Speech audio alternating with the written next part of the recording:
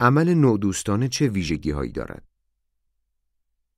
آیا نوع دوستی عمل فداکارانه و قهرمانانه است که هیچ گونه منفعت شخصی در آن نیست؟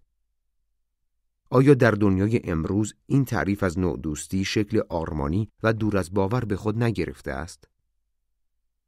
آیا نوع دوستی رفتار پسندیده اجتماعی و آری از هر گونه خودخواهی است؟ انسانها فقط به صرف نوع دوستی به یکدیگر کمک می کنند یا در رفتارهای نوع دوستانه هم نوع خودخواهی وجود دارد؟ چه دلیلی وجود دارد که انسان سلامت و رفاه خیش را برای کمک به دیگران به خطر اندازد و از وقت و انرژی و مادیاتش برای کمک به بهبود حال دیگران استفاده کند؟ آن هم زمانی که قرار نیست چیزی ملموس در ازایان دریافت کند.